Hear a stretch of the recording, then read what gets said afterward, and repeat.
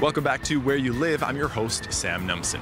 Food trucks have been popping up in Kamloops for the past couple of years now, and folks downtown are starting to embrace food truck culture. You can see Eats Amore behind us setting up shop here on St. Paul Street. Up next, we chat with Mikey about that food truck and food truck culture here in town. So, Mikey, you guys uh, with Eats Amore have been around for a couple of years now. You sort of led the charge as far as food trucks go with some other folks here in town. Uh, how does it feel now? We're a couple of years in. You guys have really built a lot of momentum here, and uh, people are finally starting to kind of embrace having you guys downtown. Uh, well, yeah, it's a positive change that you know we're very acceptant of and we're very pleased with.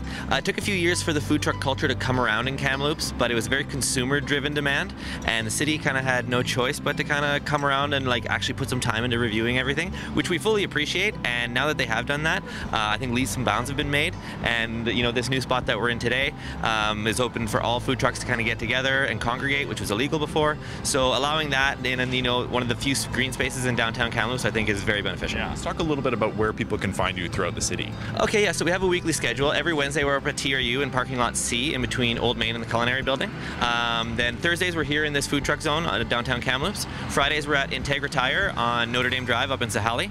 And then on the weekends we do community events, we cater weddings, you know, whatever's kind of happening, get into the community. Yeah.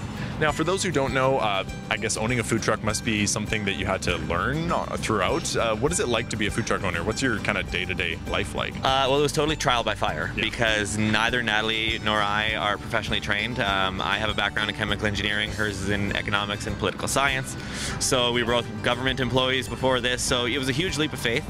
Uh, but we felt really good, like because uh, Natalie's from Kamloops. I'm born and raised in Fort McMurray, so I've been coming to Kamloops and seeing the local food scene here firsthand out at Soul Gardens and you know like I there was something there that we could do you know there was there was definitely a line that we could take and it's definitely been a hard road um, especially with the changes it, with the city only coming along in year four um, but it's been super rewarding you know like it's uh, it's a it's a fun lifestyle and it awards us a lot of time to travel and do other fun stuff like snowboarding and whatnot in the wintertime tell us a little more about Eats Amore. We've talked with you guys on the show before, but uh, what's what's your story? How did you come to be?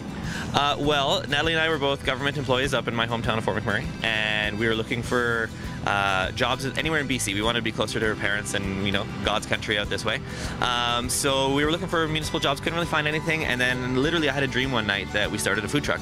And Natalie was away. When she came home, I picked her up and we were chatting, and I was like, "How's your weekend?" Blah blah. Oh, by the way, I came up with a name for the food truck what do you mean food truck? Anyways, at the end of the day, workday, we sorted it out, and uh, Eats Amore was born, and we kind of we, we bought this. It was it used to be a HandyDART bus, um, so I bought it, converted it, and started chasing the dream and whatnot. Uh, but like the main anchor of this all was knowing that like we had Soul Gardens, Natalie's parents' uh, certified organic farm out on Rivershore, um, right on the South Thompson River. Beautiful piece of land, growing tons of a huge variety of local organic fruit and veg, and we knew like that had to be the hub. Um, that was the mainstay of the whole business idea. And without it, we probably wouldn't be what we are today. So we're super thankful for them.